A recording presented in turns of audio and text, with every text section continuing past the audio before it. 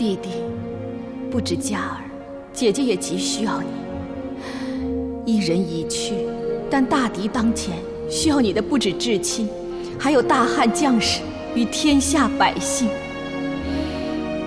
姐姐盼你早出困局，莫因仇恨乱了心智。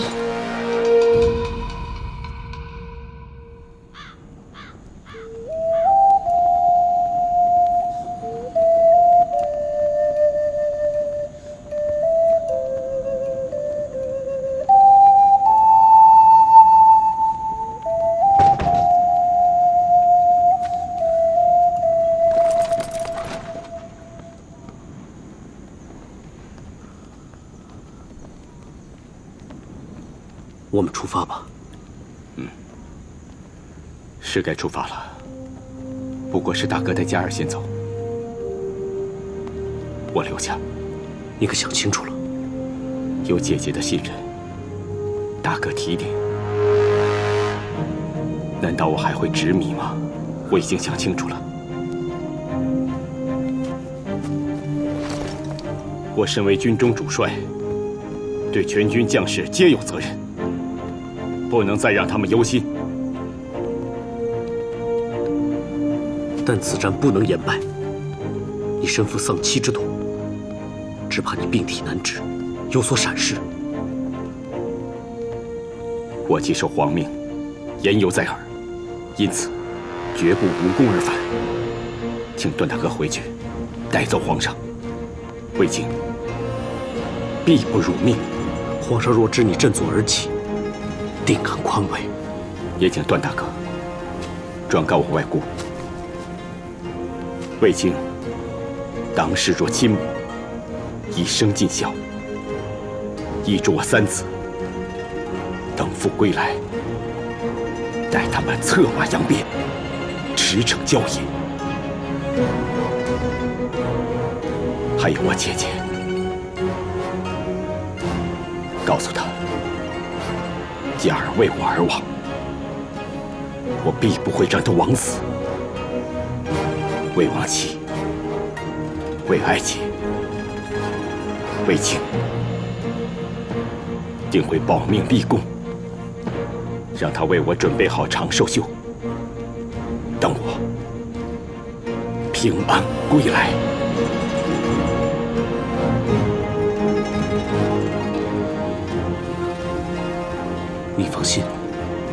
我定会为你一一传话。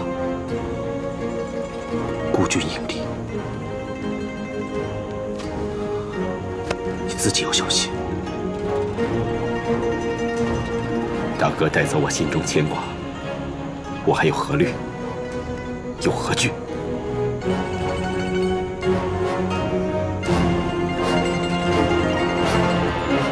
我魏京。可六胜外敌，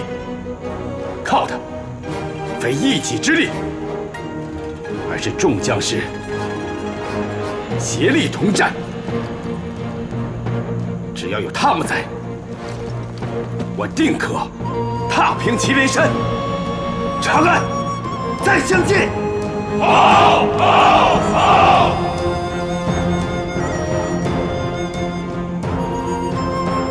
段大哥。我的嘉儿就交给你了，你带她一路走好，待我荣归长安，奏凯乐，歌同宫，再祭我。嘉儿英灵，我定会护送你夫人。平安回到长安。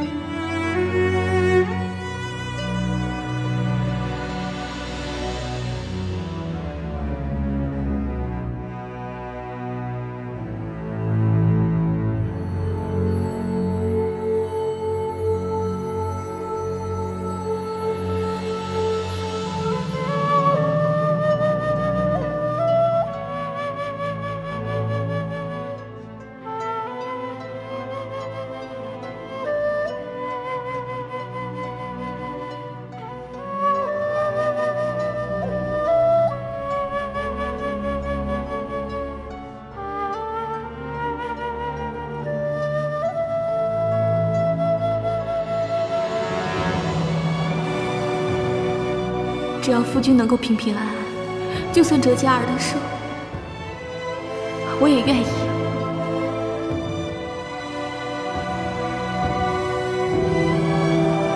所以，为了我，为了我们的孩子，你一定要平安无恙。我心里有家儿，你永远在我心里。即使在战场上杀敌，都能伴着我。为了你，我就力气倍增。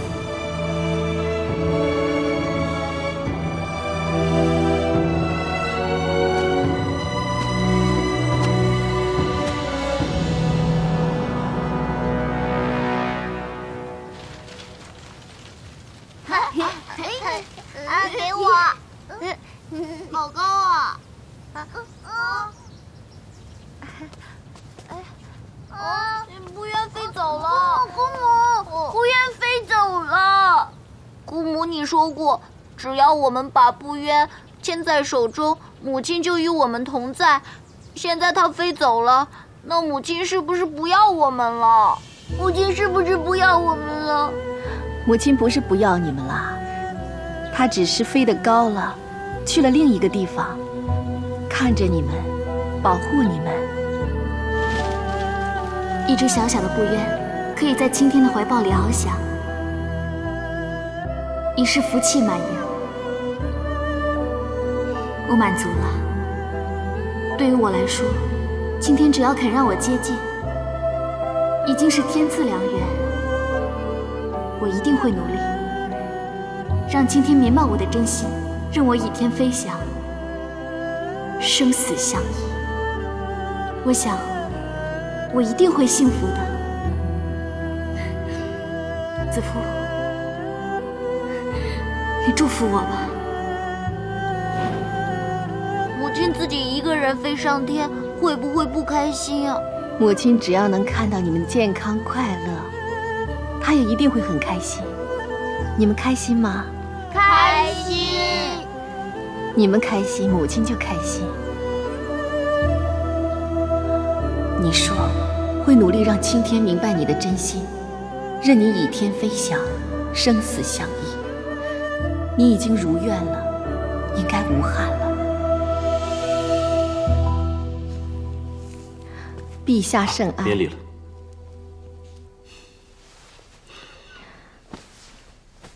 别太辛苦自己，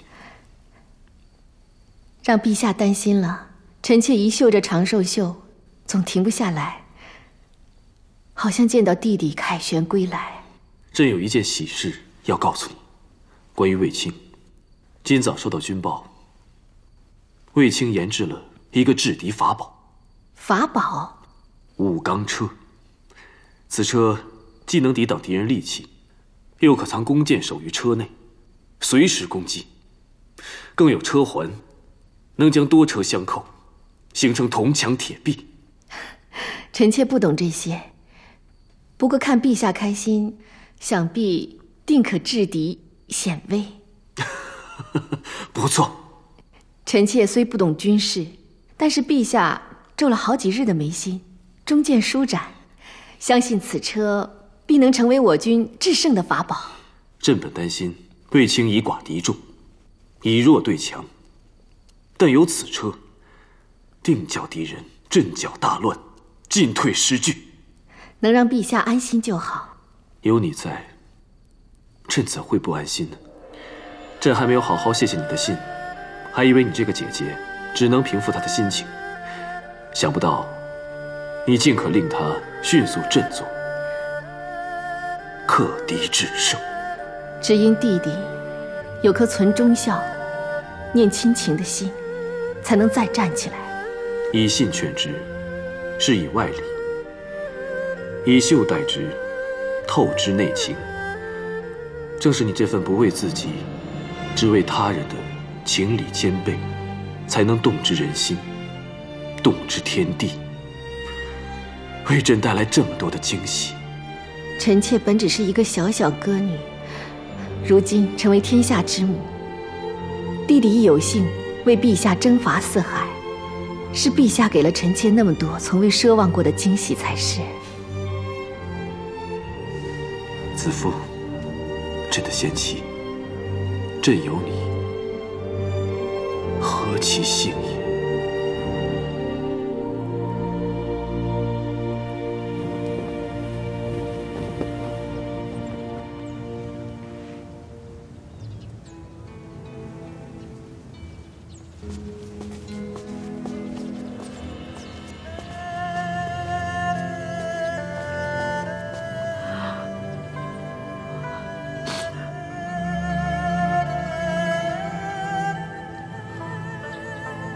段大哥，谢谢你带佳儿回来，她终于回家了。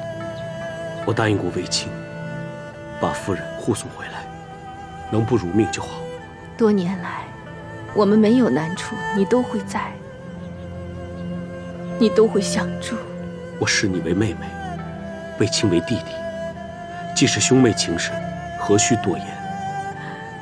谢皇后亲临。喜娘别这么说。她是我的弟妇，也是我的姐妹。佳儿终于回来了，你也要小心身体，别太费神。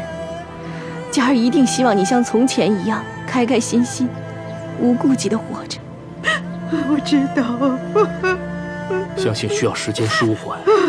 刚才他一见关九，都快哭昏过去了，在内堂躺到现在。佳儿是生也荣，死也荣。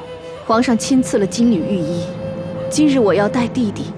为佳儿行大殓之礼，重新加衣厚葬。那就开始大殓之礼吧。另外，后棺木已在内堂备好，孩子们在里面帮忙准备陪葬之物。张大人留步啊！张大人，张大人。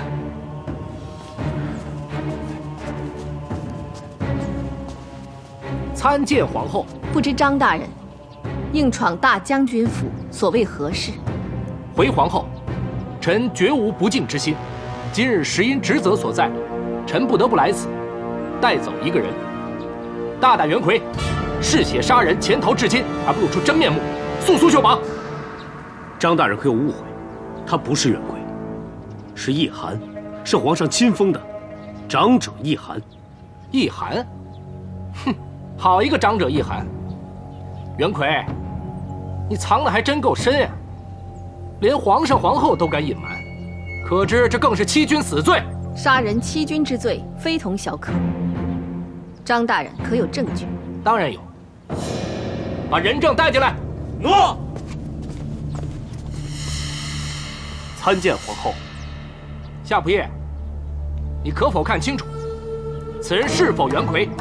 正是袁奎，当年我抓捕他时还被他所伤，但是最后让他逃走了。别以为你是做官的就可以血口喷人，你以为你是谁呀？我女儿为国捐躯，今日是她大殓之礼，你却带人闯我灵堂坏我大礼，对我女儿毫无尊重。你说你居心何在？我并无不敬之意，只是……只是什么？你随便带个贼眉鼠眼的人来污指一寒，就可以带走他吗？他可是皇上亲封的长者，大将军和皇后更视他为亲人。他要是杀了人，就没有天理了。你无凭无据就想把人抓走，休想！法之当头，杀人偿命，有何不可？今日我就是要带走这个逃犯。你，新娘，慢着！张汤，你说兵无不尽，但大将军位在你之上，你明知道今日大将军夫人返家设灵。你没向官舅吊唁施祭，没向家属致哀慰问，却带兵进来抓人，其中礼数何在？敬意何在？臣一心追捕逃犯，只怕让其再逃脱，所以疏忽了礼节，还望皇后息怒恕罪。你执法以严，无可厚非。但法之拟立，本为保民安民，所以也要因时制宜，法中留情。大将军的外姑刚立丧女之痛。你无半点体察劝慰，还出手推撞，岂是和情安民之举？臣不敢。大将军正以身犯险，决战大漠，为我大汉子民安身立命。大将军夫人忠义不屈，宁死不为外敌所胁。若因你莽撞，令太夫人跌倒受伤，如何向大将军交代？是臣大错了，请皇后恕罪。幸好未成大过，我就暂且饶你。谢皇后，但敢问皇后，那逃逸多年的杀人犯，又当如何处置？易叔叔，你对他们的指控，可有片言只字回应？回皇后，小的无话可说。那么，你真是袁奎？我的确是袁奎。不，你真是疯了吗？你，你怎么连自己的名字也记不住啊？啊，你这老头是怎么了？你根本就不是。不。但无论如何，我得谢谢你。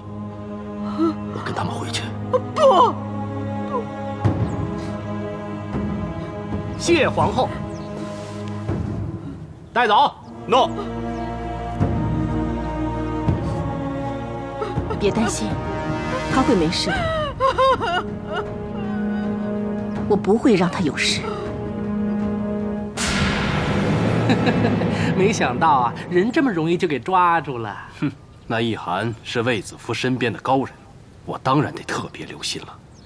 一个如此闲散、无所畏惧之人，当日却见着一个小官就慌张躲避。其中必有隐情，果然，我三言两语就把那易涵见不得人的老底儿都翻了出来。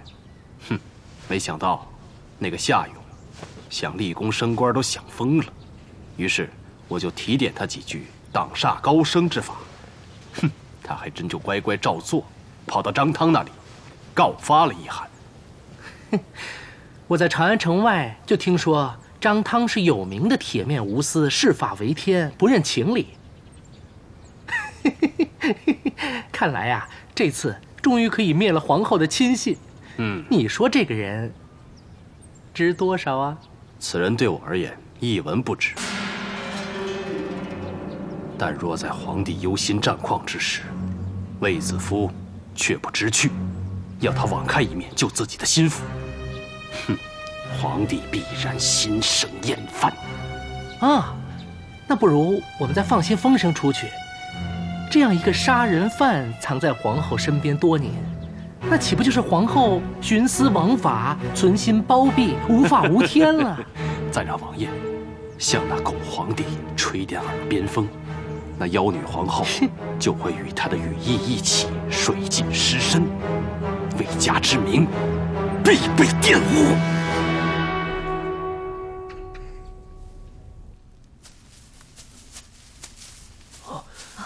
易叔叔免礼。哦，谢谢你们来看我。张汤可有严刑逼供？我本是罪人，甘心伏法。张汤根本无需严刑逼供。易大叔怎么可能是罪人呢？你一路以来为我们出谋划策，助我们一次又一次躲过险恶，还加在善之余奔走各地，只为济世安民，这岂会是歹毒杀人之凶徒所为？我不管你有何过往，我只信我认识的易叔叔绝不会是个罪人。你们可记得我对皇上曾经说起过我的过去？记得，易大叔与师兄斗法，虽大胜师兄，却连累恩师受怨，被师兄害死。恩师却是因我狂妄斗法，连累而死。但是当日我并未向皇上说出全部的真相，只因我师兄。怪怨恩师将学识只传我一人，愤而将师傅杀死，我悲愤交加，亦悔疚不已，要将师兄拉去见官，但师兄反目，更将杀师之罪陷害于我。我这手臂上的疤痕，就是与他争执打斗时留下的。我受伤之后，师兄却未停手，反而招招想置我于死地，我只得奋力反击，但。错手杀死师兄，这只是自卫自救，即使落在廷尉手里，也非大罪。师傅的一班同门将我提刀而出，且刀上沾血，就一意说是我残害师傅，谋杀同门师兄。我根本就是百口莫辩，只有逃走。如今张汤查审，你有如实相告吗？人已死，事情已过去太久，仅凭我一人说辞，不足为惧。况且我逃避追捕，误伤官兵，夏勇就是实证。唉，算了。回想起来，我确实是罪有应得呀。后来我才知道，师兄死后留下孤儿寡母，无人照料，四处漂泊，最后饥饿而死。归根究底，这一切只因我狂妄斗法而起。恩师授业之时，早就要我收敛，不外露。若不是我轻狂，恩师不会死，师兄不会死，更不会发生饿殍在野之事。所以易叔叔一直对孤寡弱小特别关照。其实这些年来，你一直在赎罪，受你救助的人数以千百计。易叔叔，你也该安心了，不用再自责。能安吗？每当我看到这疤痕，就好像听到了师兄的怒喊声，想到他的妻儿孤苦伶仃，颠沛流离。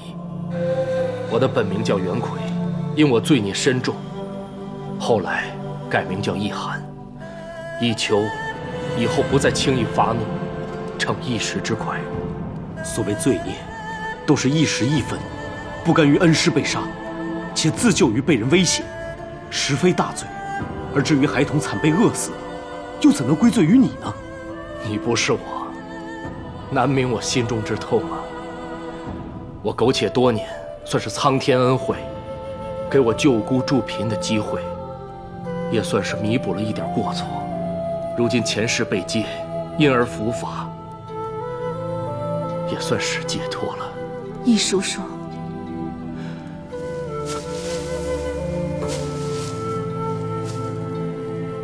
别为我伤神，一定要保护好你的妹妹。我知道，皇后还记得我们如何相识吗？再为易叔叔做一次蒸饼，可以吗？易叔叔想要什么，子夫都会为你去做。其实当年早已心无所恋，一直放逐自己。可那一日，你好似仙童一样，打开了我心中的死结。自那以后，我便决定此生要行善赎罪。易叔叔心本善良，有无子夫，都会一生立德乐善。恕我这一生，若说真做过什么能够略抵我的罪过，那就是有幸可以助你入宫。只因你一人，就造福了多少苍生啊！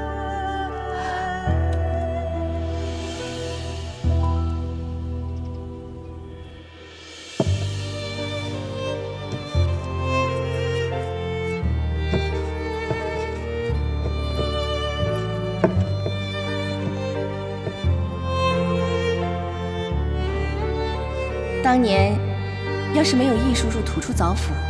让沈家滑倒，我散发相扶，我怎么能够被皇上宠幸？如果没有易叔叔送我挂饰，子夫今日早已离宫。自从小时候遇到易叔叔，易叔叔送我“不争、不显、不露”这六个字，让子夫一生受用。子夫就当易叔叔是上天派来帮助我的贵人。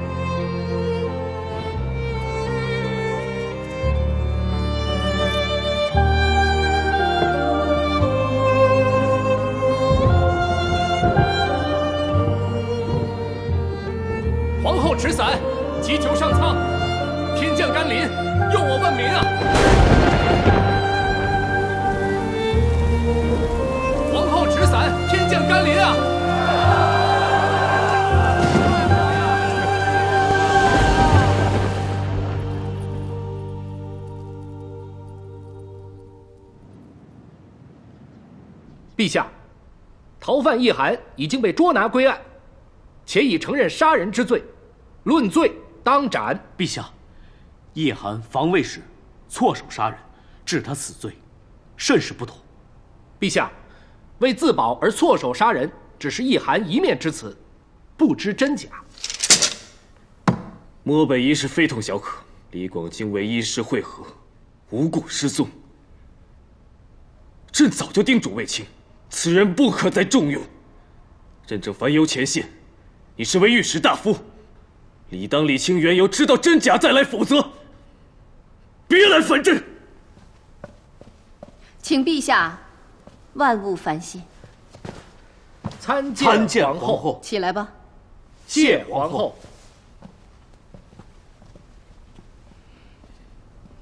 陛下圣安。朕现在忙着边关战事，不想再谈易寒一案。皇后不用为他求情了。陛下睿智英明，定有公断，臣妾又怎会妨碍平添陛下的烦恼？只是希望陛下能听臣妾说八个字。说吧。罪不可恕，易寒该死。你此说可有理据因由？即使易寒曾现寻水之法，帮助各处郡县找出水源，拯救苍生，可他毕竟杀死残害恩师之人，于法不可容。难道易寒之功竟抵不上他误杀之罪？不错，纵使易寒当日解民困、济祈雨、保帝后之名，免万民迷信，可他毕竟曾经误杀，且百词莫辩而拒不逃逸。罪不可恕。皇后此言，臣不敢苟同。易寒赠千金于旱灾孩童，持在善之余，为陛下广撒君恩。纵使他救孤寡、兴义学、举孝廉、建贤臣，助陛下弘天地之大德，施雷雨之深恩，可他毕竟借此掩饰身份，欺瞒陛下，绝不可恕。皇后想说的是。纵使易寒误杀逃亡七镇，可他披荆解困，千金救孤，举贤育才，渐渐勋劳，立下千古奇功吧。陛下，而这一切，皆是出自赎罪之心。陛下，人谁无过？易寒不但知罪悔过，且功在民生，却有功而不自居，只以救助孤寡为己任，这是善莫大焉。臣求陛下。饶易寒一命。易寒如今所为，事事为善，件件为民，皆为可恕之由。陛下明德，求陛下法外容情，恕改过从善之人不死。陛下，请听臣张汤一言。若所言只是依法治罪，那就免了。难道朕不知道各种道理吗？陛下，前线有急报上奏。说。大将军胜了，骠骑将军大胜，在漠北把敌人打得溃不成军。好，朕就知道他们不会让朕失望。卫青大胜，国之大幸，大汉之幸啊！都是天之所佑，是陛下仁德感天。待他们凯旋，朕要重重赏有功之人。陛下，一涵一直视大将军为子侄，不单以睿智提点引导。又以食疗养其身体，嘉儿死后，又悉心照顾大将军府上下，让他驰骋沙场无后顾之忧。此一胜战，一寒亦有功。这么说来，大将军府的婢女家丁都有一份功了。皇子犯法都与草民同罪，一寒虽有功，但人命关天，加上欺君之死罪，绝不可徇私。功罪不可混而谈之。以罪论之，杀人本该偿命，欺君更是不可容。不过，朕得四海，因承天命。此次汉军大胜，乃天佑我大汉，助我将士，为报天恩，佑我汉室。朕要推恩天下。御史大夫张汤，臣在。为朕传诏：汉军大胜，普天同庆。凡犯罪者。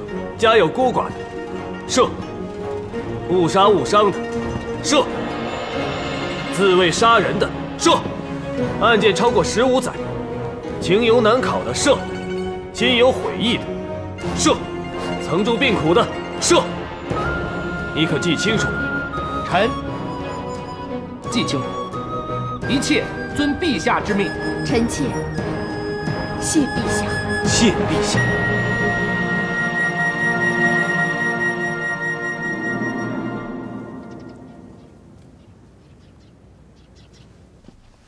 启禀夫人，皇上今日有要事，不能前来。但汉军大捷，皇上要赐后宫上上下下，皇上特意让夫人先去挑选贡品，还特意吩咐夫人要为自己和小皇子多选几项。那就劳烦你替我和红儿谢过皇上。诺。那小人就先告退了。那你快去挑啊，要挑最华丽、最名贵的。只要皇上能时时将我们母子放在心上，是不是最名贵？能不能每日都来，也无所谓。你可不能就此懈怠，皇上要日日来才好。你一定要抓住皇上的心，你和红儿才有好日子过。哎，这袁叔还是没有按约来见面。要抓住皇上，要有他的妙计呀。这几次约定，他一次都没有来。罢了罢了，他自称是高人，却次次失败，定是无颜再见咱们了。可是，没了他，我们怎么办呀？有我呀。学人家打仗领功，或许不能，可是争宠嘛，姐姐我还是自有妙计的。那姐姐，要多教我几招。让红儿能抓住皇上的心，也让妹妹我可以抓住皇上。说真的，我们这么走了，宫里那两个女人怎么办呀？那狗皇帝承天之佑，为家得势，天时地利人和三者不得，天不利我，即使留着这无用之卒，也于事无补啊。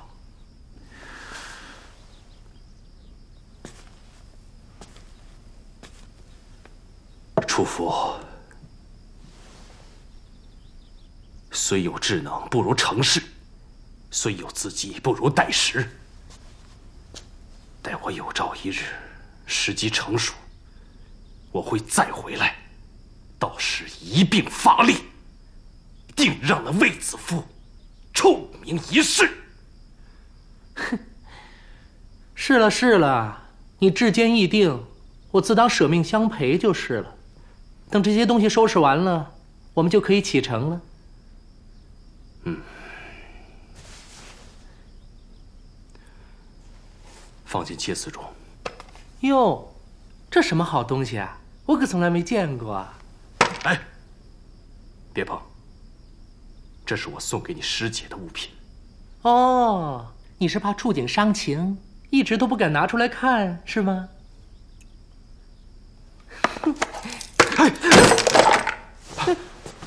我说过不要碰。是了是了，我马上就收拾。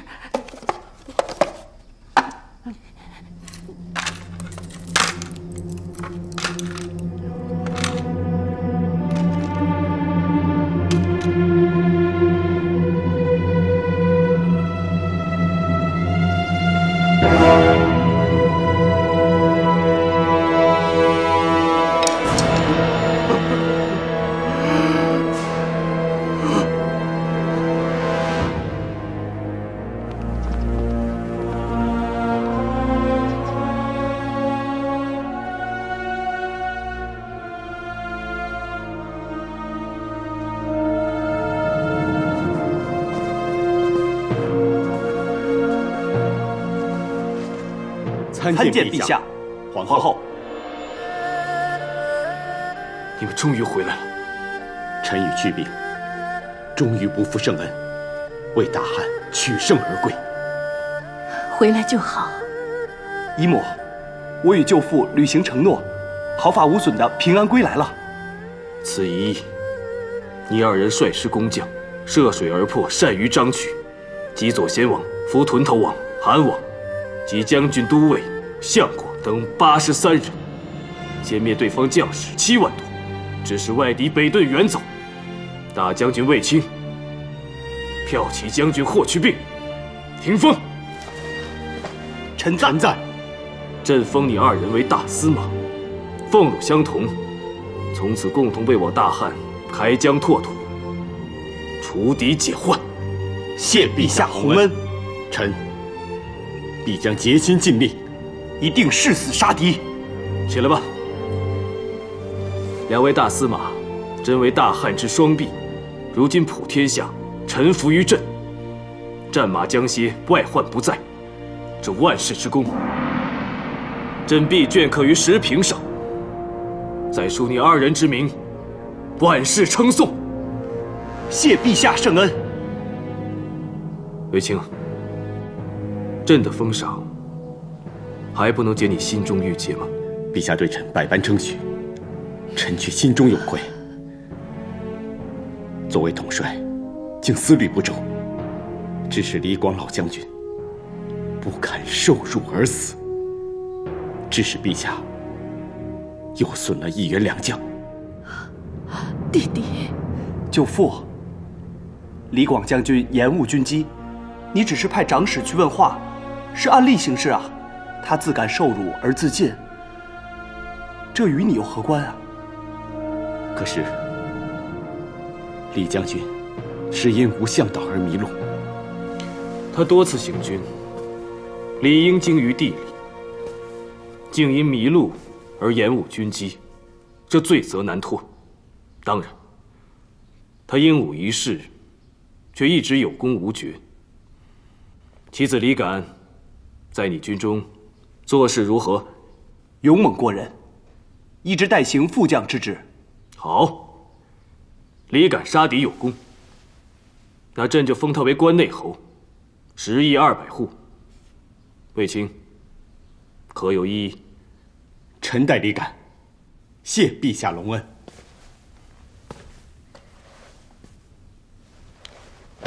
进入这传德殿，便是一家人，不必拘束礼仪。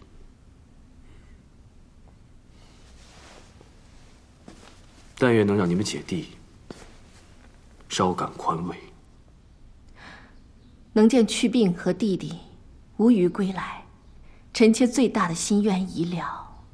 姐姐对我千般信任，我怎能言而无信？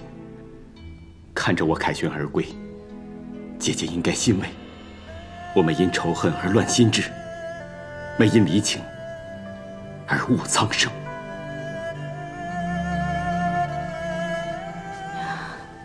我一介女辈，最在乎的不是这盔甲上。洒了多少外敌的鲜血，而是他为我弟弟挡下了多少刀光剑影。姐姐，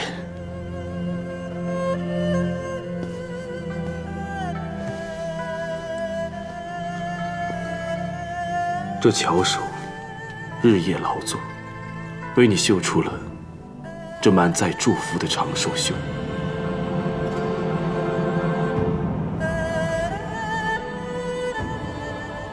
你也终于可以看他卸下盔甲，为他披上你的祝愿了。可嘉儿却看不到了。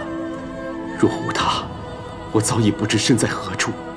得他所佑，我卫青才有今天的功绩。嘉儿生前幸福，死时英烈，身后荣耀。而弟弟如今平安归来。他如此一生，已是无憾了。沈家在天之灵，见你功勋盖世，定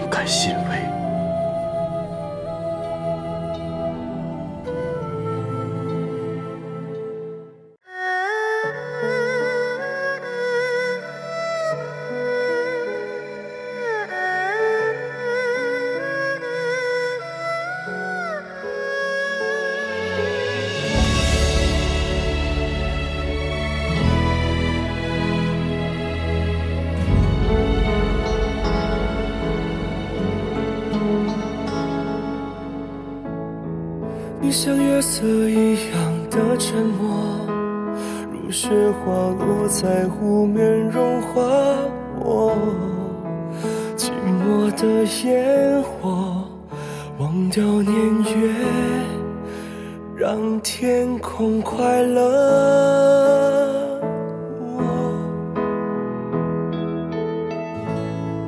你是夜里温柔的颜色，静静地投影在我的轮廓。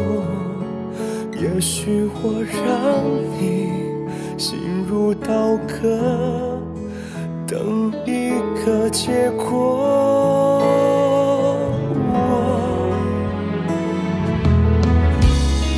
蝴蝶飞过沙漠。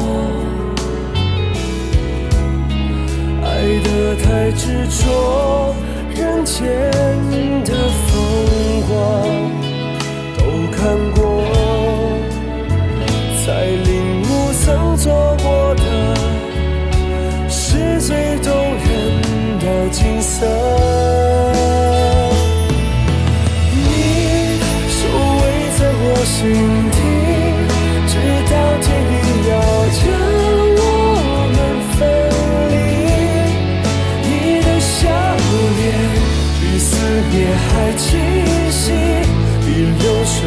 水